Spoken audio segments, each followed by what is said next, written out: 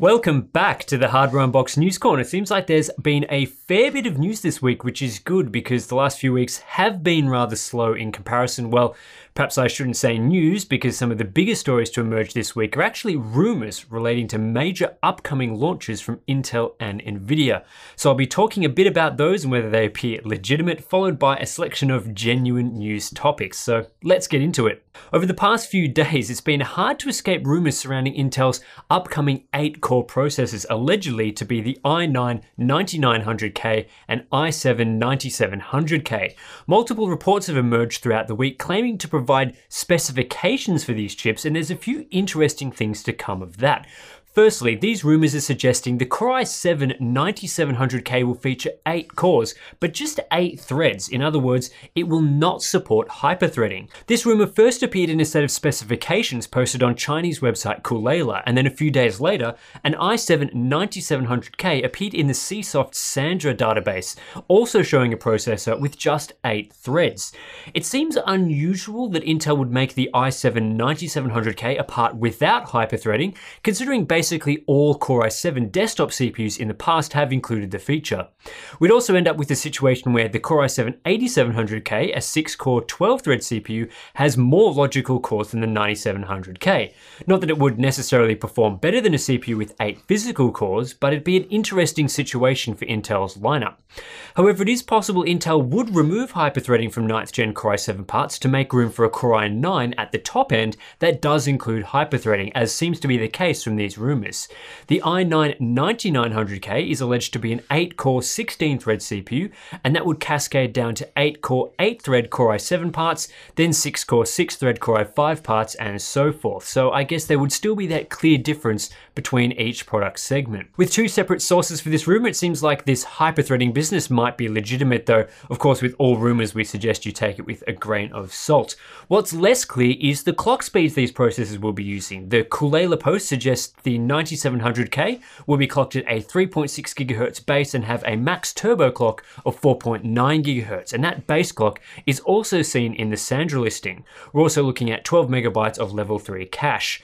Then the 9900K would come in also at a 3.6 GHz base, but then boost up to a maximum of 5 GHz with 16 megabytes of level 3 cache. Both CPUs apparently have a 95 watt TDP, though that rating tends to be pretty meaningless these days. What makes me question these clock speed figures, particularly the turbo clocks, is that the Coolaler article also lists the Core i5 9600K as having a 4.6 GHz turbo clock. However, Intel's official documents that leaked the 9600K a couple of weeks ago show the chip is topping out at 4.5 GHz. It's a small discrepancy, but it throws into question the validity of the report. I think the final products will end up being pretty close to what is being reported on here, but an official launch shouldn't be too far away, so let's keep an eye out on this one. The other major rumor from this week surrounded a GTX 1170 benchmark posted on WCCF Tech. This one to me doesn't look right from a number of perspectives, so let's dig into it. The benchmark is a screen photo of a 3D Mark Firestrike score, which is suspicious in itself as it's not an actual screenshot, and the score is seen as 22989, which would put it in GTX 1080 Ti territory. That's not overly surprising considering with Pascal, Nvidia launched the GTX 1070 with 980 Ti level performance. However, it's the specifications that are pretty dubious. The card is listed as having 16 gigabytes of memory, which seems pretty high. The Volta-based Titan V only includes 12 gig of memory, and we know how expensive memory is these days, so doubling the capacity from the GTX 1070 seems not quite right, especially as a lot of today's games don't make full use of 8 gigabytes gigabytes at this point. Even more suspicious are the clock speeds. The card is listed as pushing up to 2552 megahertz, which is more than 800 megahertz higher than the highest clocked Pascal card, and certainly well above what most Pascal cards will do when overclocked heavily. At this point, it seems certain NVIDIA's next gen cards will be using TSMC's 12 nanometer manufacturing process, and the gains from 16 nanometers used with Pascal to 12 nanometers simply won't give you that sort of clock speed gain. So I'm calling this one fake, and I think a lot of other people probably have come to that conclusion by now as well. In legitimate NVIDIA GPU news, the company has launched a new bundle to try and push existing Pascal cards out through the door as fast as they can. NVIDIA are offering a free Kingston SSD with eligible purchases of some graphics cards, either a 120 gig model or a 240 gig model depending on the SKU. It appears these bundles are only for the GTX 1050 Ti and GTX 1060, so no higher end cards unfortunately, and it's also UK only at this stage. Still, if you live in the UK and you want want one of these graphics cards, you may as well get one with a free SSD. This story appeared in our Patreon exclusive Discord chat earlier in the week, and I thought it was pretty interesting for the more enthusiast builders out there. Overclocking Master Buildzoid published a video earlier in the week going through some of the VRM configurations on upcoming B450 motherboards, and slammed Gigabyte in particular for completely faking their 8 plus 3 phase VRM design. For those that love the technical stuff, his 50 minute long rant is worth a watch, but essentially Gigabyte's VRM VRM design actually emits one of the MOSFETs in each of the phases and doesn't use a controller that's actually 8 phase compatible. So the boards only truly use a 4 plus 3 phase design. This is despite the boards appearing to have 8 phases as 8 inductors or chokes are visible. Gigabyte has since come out and admitted their 8 plus 3 phase marketing was an error and mentioned to us via email that they will be updating their product packaging for these B450 boards to correct the error. Gigabyte's website has also been updated, removing any reference to the 8 plus 3 design for the affected boards. We'll have some performance metrics for these Gigabyte B450 boards coming next week, and it's pretty interesting stuff, so stay tuned for that one. This story came in screaming hot while I was writing up today's News Corner episode. Intel have announced that the first systems powered by 10 nanometer processors will be available in the second half of 2019 in time for the holiday season.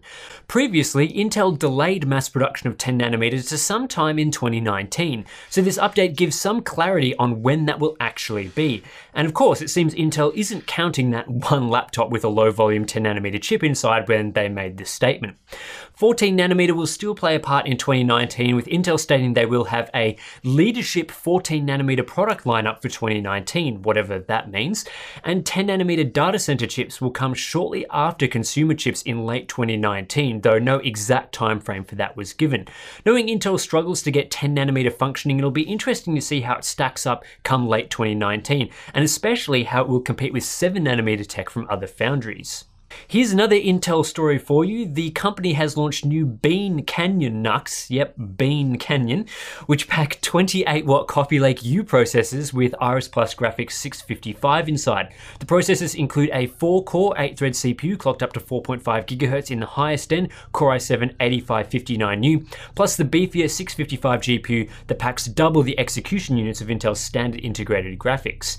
The NUCs also include stuff like two SODIMM slots, a 2.5 inch drive bay, and some models, an M.2 2280 SSD slot, Intel Wireless AC 9560, plenty of ports including Thunderbolt 3. It's basically all the stuff you'd usually expect from a NUC. Bean Canyon won't be super powerful or anything like that, but it could be a decent solution for some use cases. These NUCs will go on sale in early August, although we don't have pricing just yet.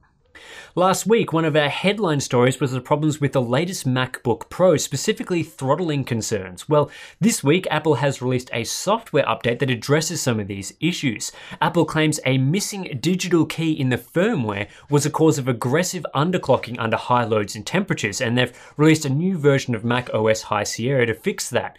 Now, digital key sounds like a load of crap to me, but the patch does actually modify how the CPU behaves under load, and as a result, performance is noticeably improved. It's still not at the level you'd expect from a properly cooled Core i9 processor in a larger laptop, so Apple's thermal design is still restricting the processor somewhat, but at least it's not throttling as aggressively. AMD's Ryzen 5 2500X has appeared in an OEM system from Acer. The 2500X hasn't been officially announced by AMD just yet, but it's expected to be a 4-core, 8-thread CPU clocked at 3.6 GHz with a boost clock of 4.0 GHz. The CPU should launch soon alongside a Ryzen 3 2300X, so it's probably a mistake on Acer's part to put up this new Nitro N5100 system ahead of time. Denuvo, makers of the world's most aggressive and effective anti-piracy solution for games, has sued the founder of piracy group Revolt, who were the first to crack the technology. Through the help of Bulgaria's police, the founder was allegedly identified as Arka Voksi, probably a terrible pronunciation there, who had his personal PC seized among other things. Voksi said he would stop his Denuvo cracking efforts immediately as a result of the legal action. It'll be interesting to see how that legal case ends up and whether Voksi actually broke any laws in his efforts to remove Denuvo from games. Final news topic from this week, the guys over at PC Gamer have tested Monster Hunter World on PC and found it was quite demanding, so prepare your systems for what could be a tough game to run. One of their editors had a GTX 980 Ti and using the high preset at 1440p delivered under 60 FPS, and another had a 7700 HQ laptop with a GTX 1070 and got around 45 FPS on the highest preset at 1080p. Of course, we'll take a look at how the game performs across a wider range of hardware around its launch on August 9th. That's it for this week's News Corner. If you like this segment, consider subscribing to get it in your inbox every Friday and hit that bell icon so YouTube actually bothers to tell you about it. Also, we have a Patreon exclusive Discord chat, which is a great place to chat with us about this news throughout the week, and I will catch you in the next one.